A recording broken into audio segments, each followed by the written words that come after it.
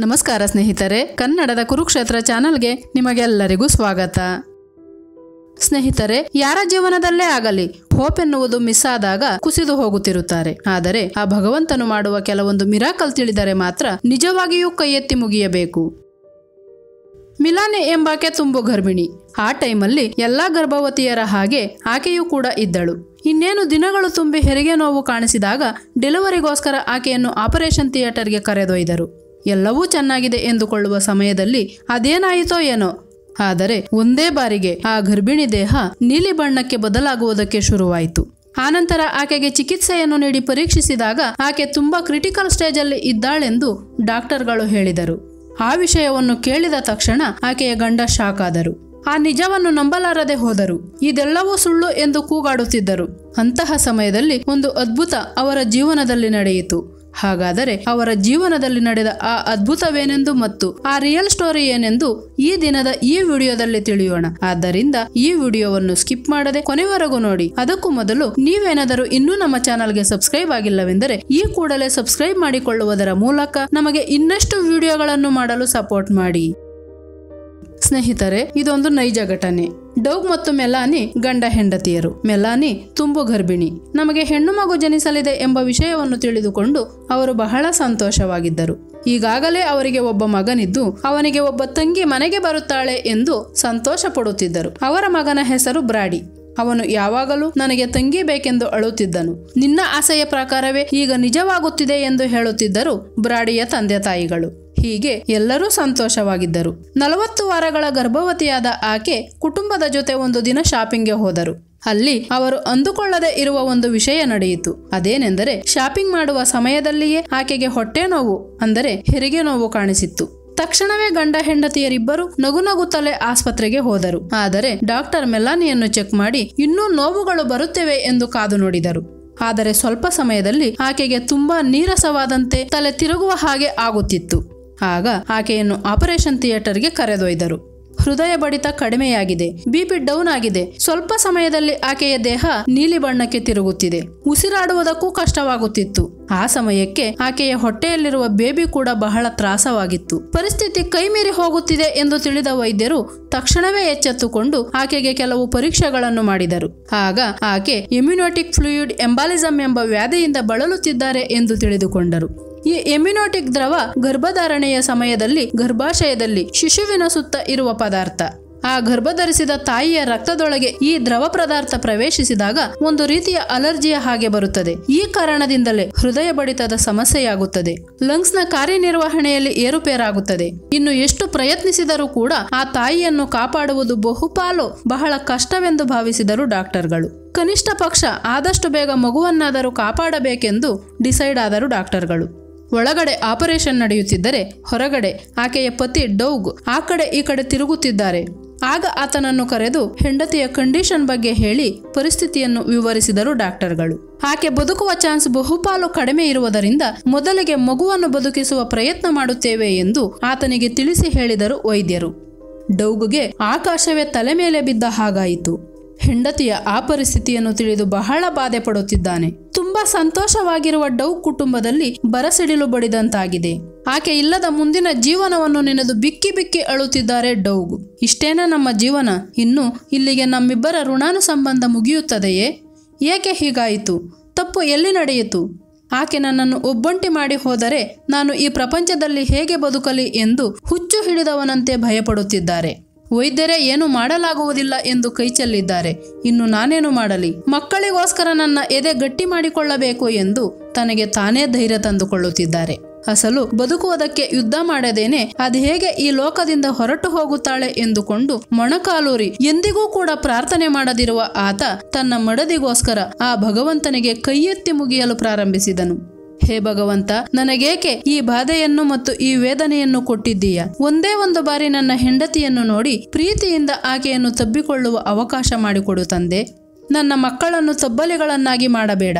ತಾಯಿ ಇಲ್ಲದ ಮಕ್ಕಳ ಹಾಗೆ ನನ್ನ ಮಕ್ಕಳನ್ನು ಮಾಡಬೇಡ ಎಂದು ದೇವರ ಬಳಿ ಪ್ರಾರ್ಥಿಸಿಕೊಳ್ಳುತ್ತಿದ್ದಾರೆ.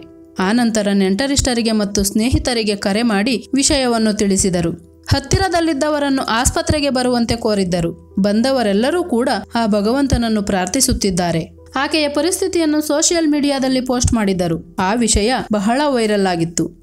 ಈ ಸಂಗತಿ ತಿಳಿದ ಎಲ್ಲರೂ ಕೂಡ ಭಗವಂತನನ್ನು ಬೇಡುತ್ತಿದ್ದಾರೆ. ಮತ್ತೊಂದೆಡೆ ಆಕೆಯನ್ನು ಕಾಪಾಡಲು ವೈದ್ಯರು ಶತಪ್ರಯತ್ನ ಮಾಡುತ್ತಿದ್ದಾರೆ. ಡಾಕ್ಟರ್ಗಳು ಮೊದಲಿಗೆ ಆಕೆಯ ಗರ್ಭದಲ್ಲಿರುವ ಬೇಬಿಯನ್ನು ರಕ್ಷಿಸಿದರು. ಮಗು ಬದುಕುಳಿದಿದ್ದು ಸಂತೋಷದ ವಿಷಯವಾದರೂ ಆಕೆ ಹೆತ್ತ ಮಗುವನ್ನು ಆಕೆಯೇ ನೋಡಲಾರದಂತೆ ಮಾಡಿದ್ದನು ಆ ಭಗವಂತನು. ನಾಳೆಯಿಂದ ನಾನು ಈ ಹಸುಗೂಸನ್ನು ಹೇಗೆ ಸಾಕುವುದು ಎಂದು ಮನಸ್ಸಿನಲ್ಲಿಯೇ ನೊಂದುಕೊಳ್ಳುತ್ತಿದ್ದಾನೆ ಡೌಗ್ ಮತ್ತೊಂದೆಡೆ ಮೆಲಾನಿಗೆ ಪಲ್ಸ್ ಇನ್ನೂ ಲೋ ಆಗುತ್ತಿದೆ.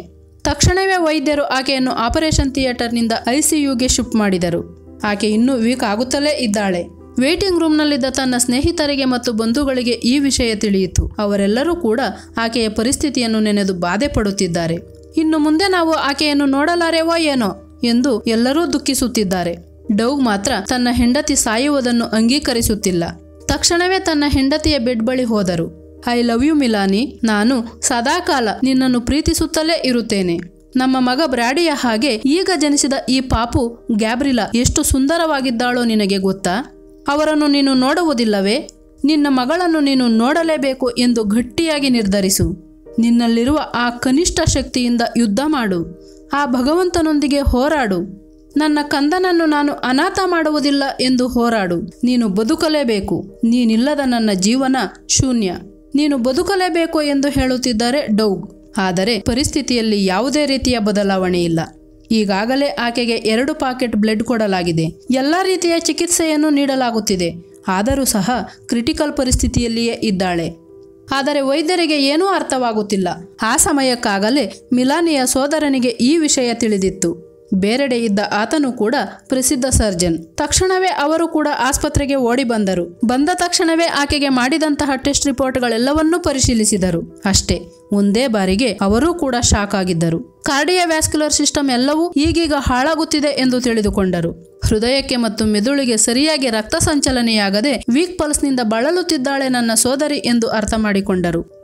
ಡಾಕ್ಟರ್ಗಳೇನೋ ಮಿಸ್ ಮಾಡಿರಬಹುದು ಎಂದು. ಡಾಕ್ಟರ್ಗಳು ಮಾಡಿದ ಮಿಸ್ಟೇಕ್ನಿಂದ ಮಿಲಾನಿ ಈ ಪರಿಸ್ಥಿತಿಯಲ್ಲಿದ್ದಾಳೆ ಎಂದು ಅರ್ಥ ಮಾಡಿಕೊಂಡರು. ಆದರೆ ಇಮ್ಯುನೋಟಿಕ್ ಫ್ಲೂಯಿಡ್ ಎಂಬಲಿಸಂ ವ್ಯಾಧಿ ಮಗುವಿನ ಜನನದ ನಂತರ ಆಕೆಗೆ ಆಪರೇಷನ್ ಮಾಡಿದರೆ ಕನಿಷ್ಠ ಪಕ್ಷ ಬದುಕುಳಿಯುವ ಚಾನ್ಸ್ಗಳು ಬಹುತೇಕ ಕಡಿಮೆ ಇದ್ದರೂ ಕೂಡ ಪ್ರಯತ್ನಿಸಬಹುದು ಎಂದು ತಿಳಿದುಕೊಂಡರು. ಹಾಗೆಯೇ ಈಗ ಆಕೆ ಮೆದುಳಿಗೆ ಮತ್ತು ಹೃದಯಕ್ಕೆ ರಕ್ತ ಸಂಚಾರವಿಲ್ಲದೆ ವೀಕ್ ಆಗುತ್ತಿದ್ದಾಳೆ. ಎಲ್ಲೋ ಏನೋ ಮಿಸ್ ಹೊಡೆಯುತ್ತಿದೆ ಎಂದು ಮತ್ತೊಂದು ಬಾರಿ ನಿಧಾನವಾಗಿ ಆಕೆಯನ್ನು ಮೊದಲಿನಿಂದಲೂ ಎಲ್ಲಾ ರೀತಿಯಿಂದಲೂ ಪರೀಕ್ಷಿಸಿದರು. ಆಗ ತಿಳಿದದ್ದು ಮಾತ್ರ ಶಾಕಿಂಗ್ ವಿಷಯ.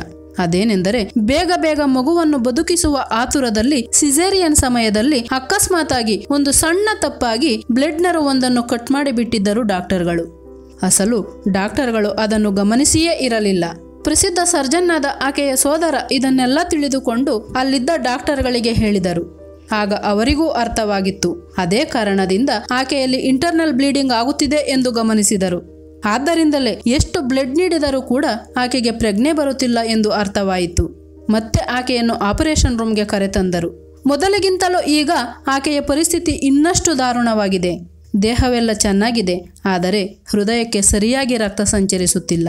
ಆಕ್ಸಿಜನ್ ಮಾಸ್ಕ್ ಹಾಕಿರುವುದರಿಂದ ಆಕೆ ಉಸಿರಾಡುತ್ತಿದ್ದಾಳೆ. ಇನ್ನು ಆಕೆ ಫೈನಲ್ ಸ್ಟೇಜ್ಗೆ ಬಂದಿದ್ದಾಳೆ. ಇನ್ನೇನು ಉಸಿರು ನಿಂತು ಹೋಗುತ್ತದೆ ಎನ್ನುವ ಸಮಯಕ್ಕೆ ಒಂದು ಮಿರಾಕಲ್ ನಡೆದಿತ್ತು. ಹುಟ್ಟಿದ ಮಗು ಜೋರಾಗಿ ಅತ್ತಿತ್ತು. ಆ ಕ್ಷಣವೇ ಆಕೆಯು ಉಸಿರಾಡಲು ಶುರು ಮಾಡಿದಳು. ದೇಹದಲ್ಲಿ ಕದಲಿಕೆ ಶುರುವಾಗಿತ್ತು. ಆ ತಕ್ಷಣವೇ ವೈದ್ಯರು ಆಕೆಯನ್ನು ಮತ್ತೊಂದು ಸ್ಪೆಷಲ್ ಆಸ್ಪತ್ರೆಗೆ ಶಿಫ್ಟ್ ಮಾಡಿದರು. ಆನಂತರ ಅಲ್ಲಿರುವ ನುರಿತ ನಿಪುಣ ವೈದ್ಯರು ಆಕೆಗೆ ಆಪರೇಷನ್ ಮಾಡಿ ಒಂದೊಳ್ಳೆಯ ಚಿಕಿತ್ಸೆಯನ್ನು ನೀಡಿದ್ದರು. ಆಕೆಯ ಹೃದಯಕ್ಕೆ ವೈದ್ಯಕೀಯ ಯಂತ್ರಗಳನ್ನು ಅಳವಡಿಸಿ ಕೆಲಸ ಮಾಡುವ ಹಾಗೆ ಮಾಡಿದರು. ಆನಂತರ ಆಕೆಗೆ ನಿಧಾನವಾಗಿ ಪ್ರಜ್ಞೆ ಬಂದಿತು. ಆ ವಿಷಯ ತಿಳಿದ ಡೌಗ್ ತಕ್ಷಣವೇ ಪತ್ನಿ ಬಳಿ ಓಡಿ ಹೋಗಿ ಸಂತೋಷದಿಂದ ಕಣ್ಣೀರು ಹಾಕುತ್ತಾ, ಹಲೋ ಡಿಯರ್ ಎಂದು ಆಕೆಯನ್ನು ಸ್ಪರ್ಶ ಮಾಡುತ್ತಿದ್ದಂತೆಯೇ ಆಕೆಯ ಕಣ್ಣಿನಿಂದ ನೀರು ಬಂದವು. ಆಗ ವೈದ್ಯರು ಆತನಿಗೆ ಹೇಳಿದರು, ಆಕೆ ನಿಧಾನವಾಗಿ ಚೇತರಿಸಿಕೊಳ್ಳುತ್ತಾಳೆ ಮತ್ತು ಪ್ರಾಣಕ್ಕೆ ಯಾವುದೇ ರೀತಿಯ ಭಯವಿಲ್ಲ ಎಂದು ಹೇಳಿದರು. ಆನಂತರ ಆಕೆಗಿರುವ ಎಂಬಲಿಸಂ ವ್ಯಾಧಿಗೆ ಒಂದು ಸರ್ಜರಿಯನ್ನು ಮಾಡಲು ಮುಂದಾದರು. ಅದೇ ಸಮಯದಲ್ಲಿ ಡೌಗ್ ಆಗ ತಾನೇ ಹುಟ್ಟಿದ ಮಗುವನ್ನು ಪತ್ನಿಗೆ ತೋರಿಸಿದರು. ಒಂದೇ ಬಾರಿಗೆ ಆಕೆಯಲ್ಲಿ ತಾಯ್ತನ ಕಟ್ಟೆ ಹೊಡೆದಿತ್ತು.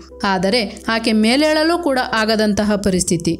ಇನ್ನು ಫೈನಲ್ ಆಗಿ ಆಪರೇಷನ್ ನಡೆಯಿತು. ದೇವರ ದಯದಿಂದ ಅದು ಸಕ್ಸಸ್ ಆಯಿತು. ಡೌಗ್ ಆನಂದಕ್ಕೆ ಪಾರವೇ ಇರಲಿಲ್ಲ. ಸಂತೋಷದ ಕಣ್ಣೀರಿನಿಂದಲೇ ಆ ಭಗವಂತನನ್ನು ನಮಸ್ಕರಿಸಿದರು. ಆಕೆಗೋಸ್ಕರ ಪ್ರಾರ್ಥಿಸಿದ ಎಲ್ಲರಿಗೂ ಧನ್ಯವಾದಗಳನ್ನು ತಿಳಿಸಿದರು. ಕೆಲವು ದಿನಗಳಾದ ಮೇಲೆ ಆಕೆಯನ್ನು ಮನೆಗೆ ಕರೆತಂದರು. ಆಕೆ ನಿಧಾನವಾಗಿ ಚೇತರಿಸಿಕೊಂಡು ತನ್ನ ಗಂಡ ಮತ್ತು ಮಕ್ಕಳೊಂದಿಗೆ ಸಂತೋಷದ ಜೀವನ ನಡೆಸುತ್ತಿದ್ದಾರೆ. ಆ ಭಗವಂತನೇ ಮಿರಾಕಲ್ ಮಾಡಿ ಆ ಕುಟುಂಬದಲ್ಲಿ ಮತ್ತೆ ಆನಂದ ತಂದಿದ್ದನು.